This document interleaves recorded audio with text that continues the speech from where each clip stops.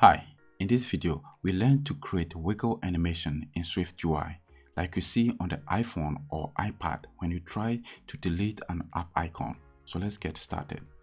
I have divided the views in this project into three new files. We have the weather view which contains the weather, a calendar view which contains the calendar, and also in content view.swift, we have both calendar and the weather views contained in a horizontal container, hstack. Let's go to the weather view. In weather view.swift, I created a state variable weather wiggles and that is used to animate the wiggle angle. In order to create the wiggle animation, we use the rotation effect along with a conditional operation using the state variable. So when the condition is true, we set the wiggle angle to 2.5 and when the condition is false, we set the wiggle angle to 0. The animation has a total duration of 0.15 and also to create the repeating non-stop effect, we use repeat forever modifier and also set auto reverses to true. And now when I run this animation, you can see we have the weather view just wiggling.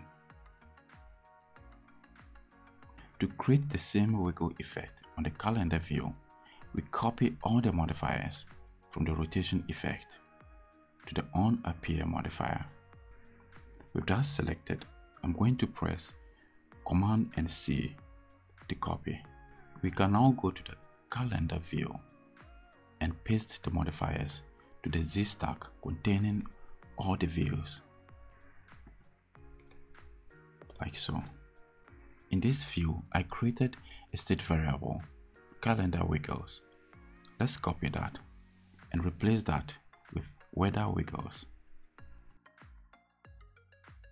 Then we go back to content view and run the code. You can see we have both fields animating in the same direction. Let's go back to the calendar view here we reverse the direction by changing this wiggle angle value to 0 and this to 2.5 and run the code again. We now have the two views wiggling in opposite directions. So friends, this is how to create the wiggle animation with Swift UI. This animation occurs when you try to delete an app icon on the iPhone or the iPad. With this, I'm going to end here. So thanks for watching.